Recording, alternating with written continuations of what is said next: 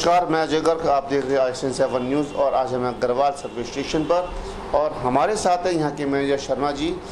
Sir जी हमारे यहाँ पर सुविधा में लेटरिन बाथरूम है लेडीज़ का अलग है और जेंट्स का अलग है।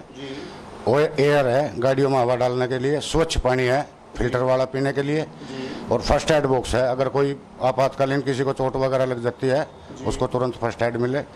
और पाँच लीटर का पैमाना है गाहक की संतुष्टि करने के लिए। क्वांटिटी क्वालिटी चेक करने के लिए डेनेस्टी के जार उपलब्ध है। फ़िल्टर पेपर है जो पेट्रोल की जाँच में इस्तेमाल होता है। भाई इसमें कहीं मिलावट वगैरह तो नहीं है। जी। नहीं सर हमारे पास 24 घंटे बार उपलब्ध रहता है जिसकी रसीद भी होती है। हम कस्टमर को कहते ही तुरंत चेक करवाते हैं। कई बार हम अपने आप भी खुद चेक करवा कर उनकी संतुष्टि करते हैं। उसकी साफ़ सफ़ाई का पूरा ध्यान और सारा हाईवे आपके आगे है जी। पूरा हाईवे हमारा साफ़ है। हम डेली 24 घंटे में दो बार हम इसको साफ़ सफ़ाई में ध्यान रखते हैं जी।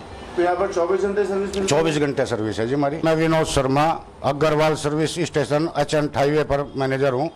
मैं सभी देशवासियों को कावड़ की शुभ यात्रा के अवसर पर हार्दिक शुभकामनाएँ देता हूँ।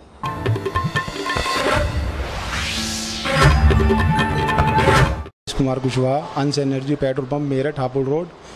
सभी लोगों को शिवरात्रि की हार्दिक शुभकामनाएँ देता हूँ।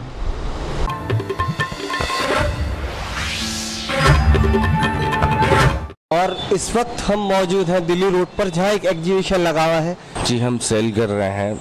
सारे जितने भी गारमेंट्स हैं गर्ल्स का भी है बॉयज़ का भी है बच्चे का भी है सभी है।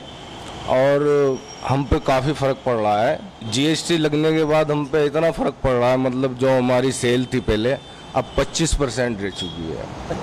हमारी तो गवर्नमेंट से यही रिक्वेस्ट है। अ, ये जो जीएसटी है इसे सही ढंग से तरीके से समझाया जाए लोगों को कि जीएसटी किस लिए लगाई गई है। जो समझ आए व्यापारियों को भी समझ आए और कस्टमर को भी समझ में आए। देखो इसमें हमें कोई सी भी ब्रांड मिल जाती है। ऐसा होता है जो शोरूम बंद होते हैं किसी भी चीज़ का मतलब कोई भी ब्रांड का शोरूम बंद हो जाता है तो वो शोरूम हम ले लेते हैं कंपनी से डायरेक्ट बात करके। वो कंपनी हमें नुकसान से देती है और उसको फिर हम आगे सस्ते में बेच देते हैं एग्जीबिशन लगा के। बहुत अच्छी क्वालिटी होती है और तकरीबन सौ दो सौ ब्रांड होते हैं। मैं मेरठ की जनता से, मेरठ की अमाम से कहना चाहता हूँ, एक बार इस एग्जीबिशन पर आए और यहाँ आकर के देखें, अच्छे अच्छे ब्रांड हैं।